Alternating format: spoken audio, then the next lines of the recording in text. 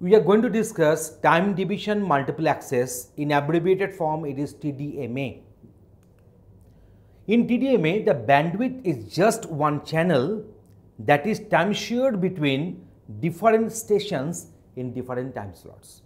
In the earlier video, we watched FDMA where all the nodes can transmit their information anytime.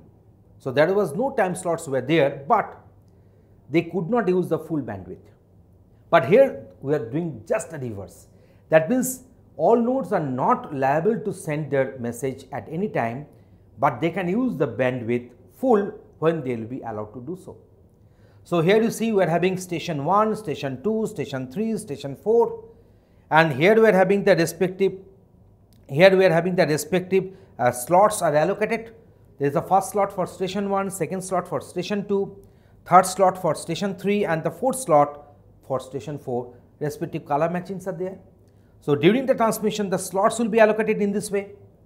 So, when the favorable slots, slots will be coming and which, which, is, which is meant for a certain station, then that period of time the station can transmit using utilizing the full bandwidth but not always and that is no question of having any guard band.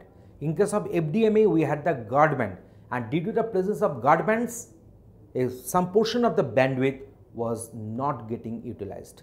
So, that sort of guard band concept is not there in our TDMA.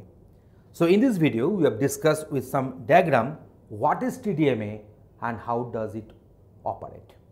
Thanks for watching this video. Tutorialspoint.com Simply easy learning.